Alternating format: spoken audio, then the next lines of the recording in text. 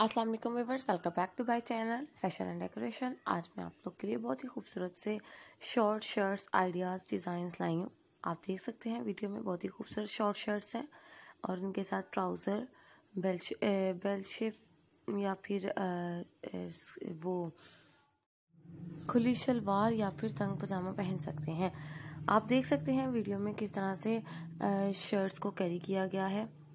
Frocks کی shape میں اور ساتھ نیچے پٹیالہ شلوار پلیٹس کے ساتھ، کھلے گھیر والی شلوار کے ساتھ بہت ہی زبردست سا یہ پاکستانی پنجابی ڈریس ہے۔ آپ اس طرح سے لڑکیاں شارٹ پیپلم شیپ میں بھی شرٹس کو سٹچ کروا سکتے ہیں یا پھر سمپل پلین شرٹس کے ساتھ بھی کھلے شلوار سلوا کر کیری کر سکتی ہیں۔ یہ آپ دیکھ سکتی ہیں شارٹ فراک پیپلم ہے، ساتھ پینٹ ٹراؤزر ہے۔ اس طرح سے بھی آپ خوبصورت سی ڈریسنگ کر سکتی ہیں۔ اس طرح سے بھی آپ سیم سٹف کے ساتھ سیم میچنگ شلوار اور قمیض کے ساتھ بھی سٹائل دے کر اپنی شخصیت کو خوبصورت بنا سکتی ہیں۔ یہ آپ دیکھ سکتے ہیں کس طرح سے شارٹ فراک کے ساتھ شارٹ شرٹ کے ساتھ، کھلے گیر والے پجامے شلواریں دھوتی شلوار بھی کہا جا سکتا ہے، انہیں پٹیالہ شلوار بھی کہا جا سکتا ہے، پلیٹس والی شلوار بھی کہا جا سکتا ہے۔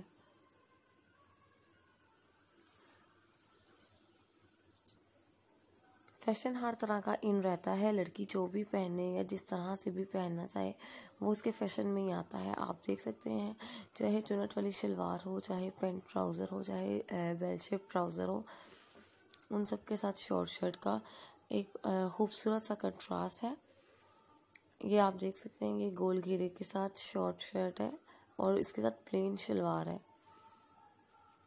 کام والا ہے اور آپ دیکھ سکتے ہیں گوٹے کے کام کے ساتھ خوبصورت سا یہ مائیوں کے فنکشن کے لیے بنا ہے۔ اس طرح کے آپ بھی چھوٹی چھوٹی امبرائڈری کے ساتھ، تلے کے ساتھ ڈیزائننگ کر سکتے ہیں۔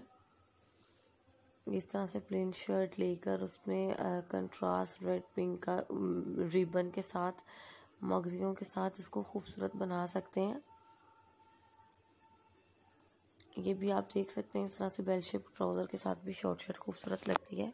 اس طرح سے آپ ٹراؤزرس کو بھی مینیج کر سکتی ہیں نیٹ کے ساتھ، لیسز کے ساتھ۔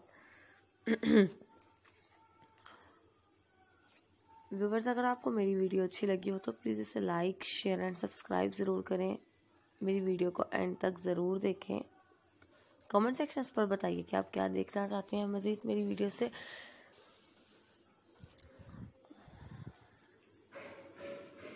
اپنا خیال رکھیں ویورز، اللہ حافظ۔ تھینکس فار واچنگ خوبصورت سے سٹائلز اور ویڈیوز کے ساتھ پھر دوبارہ نئی ویڈیو کے ساتھ ملیں گے۔ اللہ حافظ۔